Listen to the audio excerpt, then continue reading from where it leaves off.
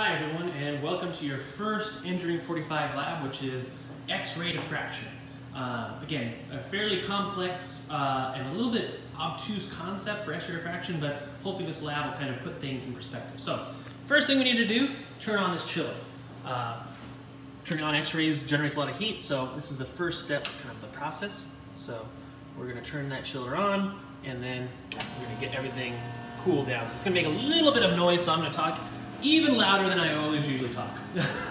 so, next step, let's go ahead and put in our HV enable. So this is the key. We need to have this key enabled in order to, actually let's go ahead and not do that yet. Um, so we are going to enable and turn on the kind of power here. So next thing we are going to do, we're going to take this key and we are going to kind of put it in our HV enable. This enables essentially the output of our you know, x-rays, and we're gonna turn the power on, green right here. And right here you can see yellow, the door is locked, operational, you see some of these buttons flash. Now it's gonna make this noise. So, this means that the door is HV enables fine. Don't worry. Okay, I can't stop the beeping. Uh, I forgot about that. Um, so, as long as this light isn't on right here, there's no x-ray being generated. But here, even though we have to fight against this beeping, we can kind of look at the components of the x-ray. So, right here, this is our x-ray generator. So, the x-rays are going to be generated from this source right here. And they're going to go out right here. Actually, I'm going to grab a test sample. So, one of the things that I love about this uh, apparatus is the uh, safety features. So I've turned this off now, but you can see I can't open this door now. The only way I can open this door is if I press this unlock, and now unlock, the beeping commences again. Um, one of the things I don't like about this apparatus though is the um, sample stage. So here our sample rotates. That's going to be an issue because if we don't pack our sample well, you could slide the material off. You will work with some X-ray uh, diffraction apparatuses where the generator will actually rotate and your sample will stay constant and the generator rotates and does theta, and also your 2 theta as well. So it's unfortunate. I wish we'd have had that one because you can see some gunk here. Need to clean that up where the samples slid off a little bit. But uh, again, we're very fortunate. This is a great apparatus, and most importantly, um, even though I love getting easy results um, and not having to worry about packing the sample correctly, I'd much rather have these safety features because we don't want to uh, get irradiated. So I've gone, got ahead and I've opened this MiniFlex guidance system uh, right here. So what I'm going to have to do, this apparatus has been off for quite a while, unfortunately, because of the pandemic. So I'm going to have to start it up. And I'm going to have, this has been not used for, uh, not used for more than three weeks. So in order to kind of start my um, generator, my x-ray you know, uh, generator, I'm going to have to kind of slowly start up because we don't want to kind of damage the x-ray. So I'm going to go ahead and do that, and that's going to take a good while. So it's going to think about this, and then it's probably going to take about a good 30 minutes for it to kind of start up again. So yeah, you can see. It'll be a little bit longer, uh, as many things. So um, what I would instead say, or not instead, excuse me, but the other important thing, we need to have this key. But we also need to have this uh, ICSD, the International Crystallographic um, Structure Database.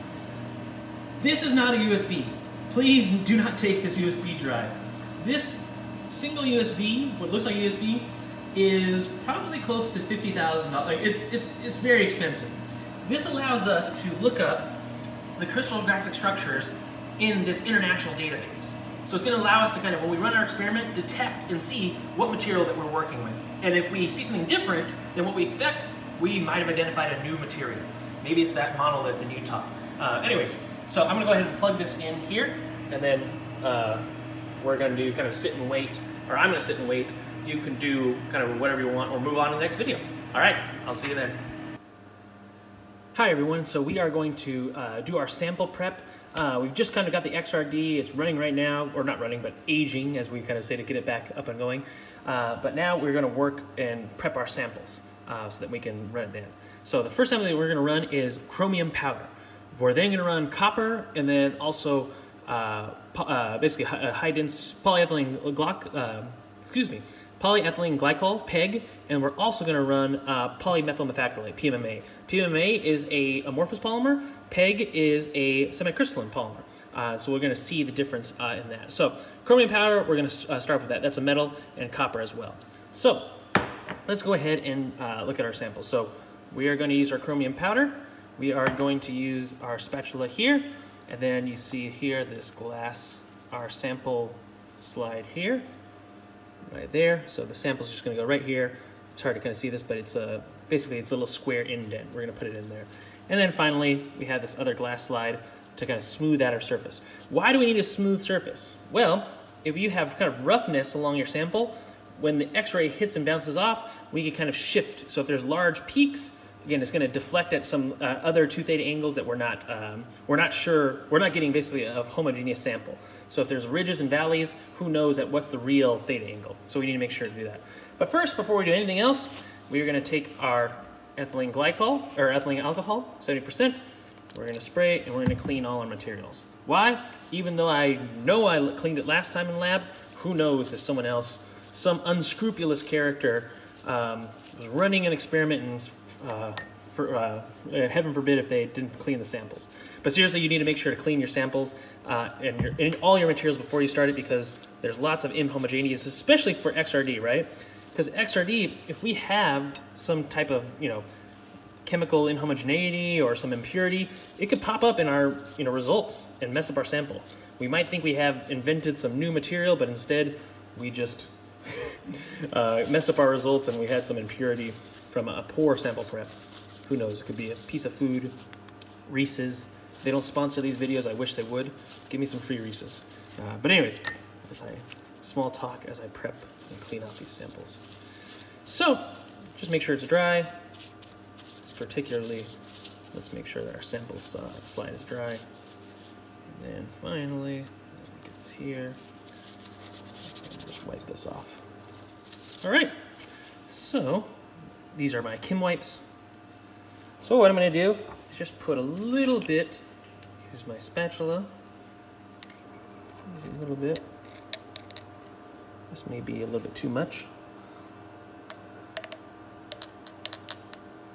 I'm just going to put it right directly on the slide. Yeah, a little bit too much, but always cap afterwards. And I'm going to take this sample me here. And what I'm to do, oops, I'm going to clean this up anyways afterwards. Let's bring it up.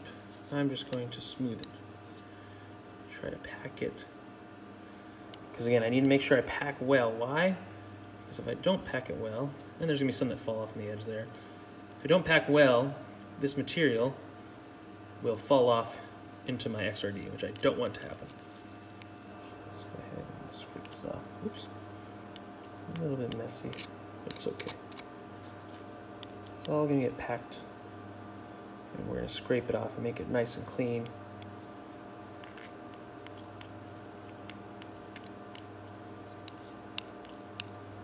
Just watch as I do that. Pack it, I'm pressing. Trying to make homogeneous as possible. And I'm just going to scrape. Probably don't need to spend this much time, but just for effect. Again, I'm going to clean this up very vigorously afterwards.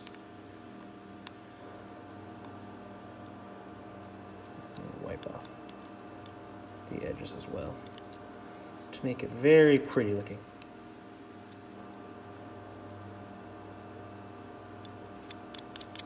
go.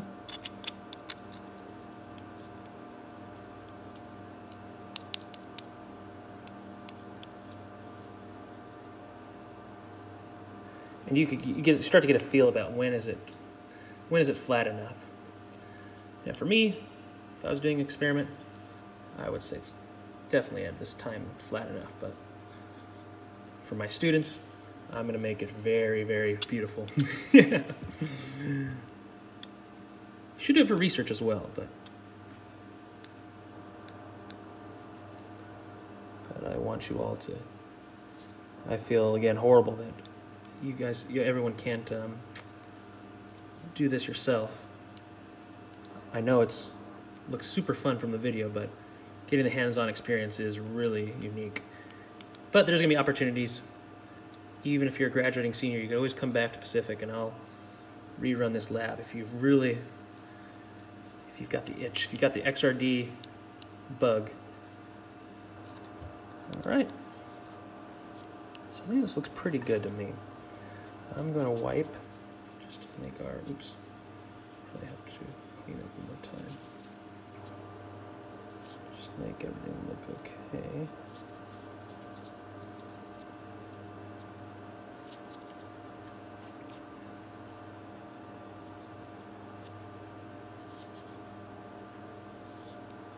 Just wiping off, just making it look pretty.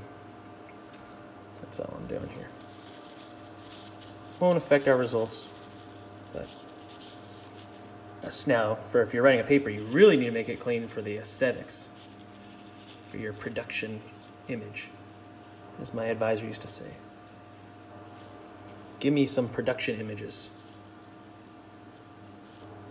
High quality ones, not the real ones, not the ones you did the experiments. I want a really high quality picture. That's very important for high impact journals. You need high impact images. That's why I feel like each each engineering experimental group should have an artist. All right, so fantastic, good enough. We've got our slides. Now let's go put this in the XRD. All right, everyone, so I've got my sample, so now I'm gonna go ahead and put it into our XRD. So let me just put some So I'm just gonna put it right underneath those little clips. To kind of really kind of snug it in there. Let me rotate my hands for a second. So, hold it like this. You have to use a little bit of force. Right, and slide in there. And we're good. Got my sample. Everything's okay. All right, it's beeping. This is on. This doesn't mean that uh, it's basically our X-ray D. Our we're energized. We're ready to go, but it is not activated yet.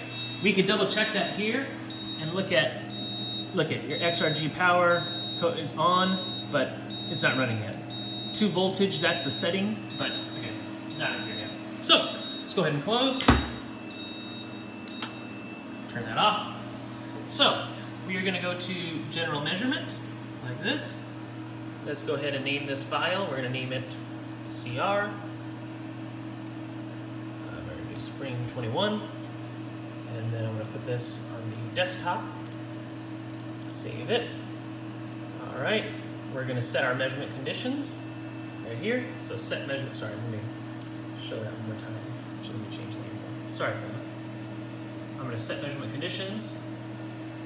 I am going to go from 3 degrees to 120. We're going to go at 10 degrees per minute. This is your speed setting. Um, if I was to do a production run, I would go at 3 degrees per minute. So the lower you go, the slower, the higher the resolution that you have. Um, but we want to do, we're going to do a quick scan because again, our time is limited in lab. But we're going to have our voltage set at 40 kilovolts, our current at 50 milliamps. So those are our experimental settings. For our general measurement, press OK. And then now we're going to move into, excuse me, flip one more time, cover the mic, or cover the camera like a pro. Uh, we have our ICD plugged in, and I'm going to go into execute. So it's thinking, doesn't want to cooperate. Will it let me run my experiment? Uh oh, there we go. All right. Today it's decided I'm going to let my Engineering 45 students experience X-ray diffraction. So, you can see it click. There was a click here. You unfortunately couldn't hear the noise. But now we're locked. It's on. And you can kind of start to see these are kind of your experimental settings. So it's setting up. Things are moving. There was that water flow. The shutter is open. When the shutter is open, that's when we're, again, exciting these x-rays. So we're getting into place and again, we're gonna start at three degrees and then we're gonna go all the way to 120 degrees. So, okay, you see it starting to move. Our shutter's open. It's getting set up in three degrees, and then, and then, voila. So we're starting to see some data here. So that red is the live data settings. So we're looking again at a plot of, excuse me, intensity versus two theta degrees. So right now, it's pretty kind of noisy. Chromium is a metal, uh, and specifically chromium is a BCC metal, as opposed to copper, which is an FCC metal. Um, we're going to deduce a lot of kind of very unique structural properties from this X-ray um, XRD kind of plot or XRD spectrum here. So I'm going to try to put it in view. So nothing's really happening right now, but from these, you know, we know that metals have short range order and long range orientational order, long range translational order. So we should expect to see some like basically delta peaks and nothing else, as opposed to polymers, which have short range order, but not much long range orientational or uh, translational order.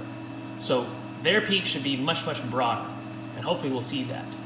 So, but I don't see my, my peaks yet. What's happening? Did I mistake? Did I put polymers in my chromium sample? Don't put it past me. I've been known to make mistakes every once in a while. Not often, but it happens. So nothing yet, nothing super exciting is happening. So what this is saying is that these at these small angles, at these very, very large distances, we're not really picking up any characteristic or order in our structure yet. And remember, from the peaks, we're going to be able to uh, determine, and you're going to actually have to calculate interplanar distances. And from um, basically where peaks occur and the Miller indices, what's the structure? Is it FCC? Is it BCC? And how can we confirm that using our structure factor equation for metals? And for polymers, it's all about qual uh, qualitative uh, in this lab. If you come with me to MEC 202, we could get quantitative with polymers as well. But for polymers, if we have a uh, broad peaks, that means short range order. If we have some sharper peaks, there's more long range orientational order. But polymers can never be 100% crystalline, not like metals. So metals will always have sharper peaks, and we're going to kind of show that, and you're going to compare that in this lab. So nothing exciting yet, but I have, stay with me, I have a feeling something interesting is about to happen. Call it an intuition. Call it many years of running XRD experiments. I'm going to stand up and switch legs, and then I'm going to squat down one more time.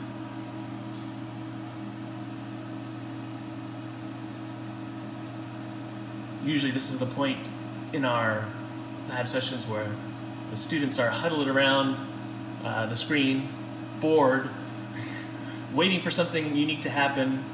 Professor Steimel letting them down once again. but let's see. I wonder really if is this a polymer? I could have made a mistake. Like I said. Or who knows, maybe the XRD is acting up. This is the first official run since, unfortunately, the pandemic started, so. What could be happening here? Maybe there's just no. Maybe this is a new variant of chromium that has no long range order. Let's see. What could be happening here? I'm not sure. Uh oh. Here we go. Uh-oh. There we are. Look at that peak. Extremely, extremely tall peak, extremely, extremely sharp peak. So what's that saying is everything to the left, uh, some of that is noise, especially at the beginning, those like that first peak, probably near like three degrees. But we don't have any long range orientational order at, you know, below basically 43 or what, you know, where this peak is. And then now we might see some other peaks pop up. So I'm gonna end the video now, we'll check in when it's done. And we're back, and this is the finished product. So as expected of a metal, we see these distinct sharp delta peaks at these various locations. So now let's go ahead and import this data and do some analysis. So what we're gonna do is open up another program here. So this is kind of our data processing program. Oops, excuse me not that integral calculation, instead, I'm going to click out, and we're going to open up SmartLab Studio 2. And this is where we're going to use where we're going to use that international crystallographic international database. So, waiting, intriguing, but again, you still have, even though we do this, you're going to have the raw data to analyze. So this is just to kind of give you a taste of um, how to utilize this program. So for the rest, we are not going to actually look at copper or uh, PEG or PMA because the process is exactly similar for basically the analysis, putting in the machine, and et cetera, et cetera, et cetera. But we will be taking this out and we will be cleaning as well. So I'm going to go ahead and load my data. So I'm going to load some data. So I want to click there, and then hopefully it'll bring up a prompt, and then I'm going to go to my desktop, and I am going to look at, I want to find my Chromium raw data file, spring 2021. Excellent. There's my peak evaluation. So you're going to get an Excel file here that's going to show you each peak that they identify uh, and you're going to look at the first peak, the real, the first real peak we see here at 44. Look at it already calculates the distance and everything else, full width, half maximum, all the parameters that you're going to calculate yourself. But you'll be given that Excel file too. So this is the Excel file that you're going to look at. But we also want to kind of see what's our phase identification. So let's go ahead and let's see what phase that are actually. We're going to actually look and see if we can identify this material. So let's try to search just automatically. So everything. So let's just run it and see if we get anything. So it's running, it's looking through all the database, and it spits out something kind of crazy here. So there's some questions. So let's search again. It's getting thrown off by that noise. Sorry about that, we crashed. One of the fun features of uh, doing live demos. So I'm gonna do my elements filter. I'm gonna do not include and then I'm going to only include this guy. Now I want to run. And what do you know? Now we're matching up. So you can see the peaks match up very well with the, again, quote unquote, real chromium. So you're going to get the location of these peaks, and look at it actually tells you already the crystallographic HKL indices of each of these peaks, the interplanar distances that they represent. So which planes, which interplanar distances. So between your atoms. So we are going to now import this data. So this comes from the ICSD, uh, basically from our little data stick. Um, so that's going to be given in a PDF for you to analyze. So you'll be given a PDF, you'll be given an Excel sheet. The Excel gives you your location of your peaks right here. And then uh, you're going to match that with the PDF, which is the database. And then you'll also give, be given the raw data in a file to plot. So with that, go ahead and follow. Uh, we are done now. What I could do, actually I'll show you, just for fun. I'm gonna exit uh, there. There's more fun stuff you can do with that uh, software. You could uh, analyze the percent crystallinity, and there's lots of actually things that you can do. But I'm gonna try to pull. Nope, even though it's off, uh, it's not gonna let me. I'm gonna unlock my door. And after that, I'm going to turn off this guy and shut everything else down. So let me take out my sample. No spilling, what a great job. What a good day to end an experiment. Close it, turn this off. I'm gonna go ahead and shut down here. So I'm gonna take this off. I'm going to exit this. I'm going to shut down and execute this. It's already off, so I can just close it out. Don't want to save my sequence. And now I'm going to turn off the key I like to put this away just because radiation scares, not scares me, but I respect radiation and its immense power. So I'm going to turn it off. I'm going to turn the chiller off. Thank you, chiller. And put this back. And then I'm also going to remove any temptation to grab this guy as in this is not uh, a thumb drive. So that's it, your first lab done with the exception of now going and actually doing and writing your, excellent journal article. But we're going to do that together uh, and in your teams, and uh, everything's going to work out great. So I will see you in the next video when we tackle DSC. differential scanning calorimetry. And you can see you'll get some really funky curves. Again, and then we'll see you in mechanics lab and then in the corrosion lab. All right, I'll see you next time. Thanks.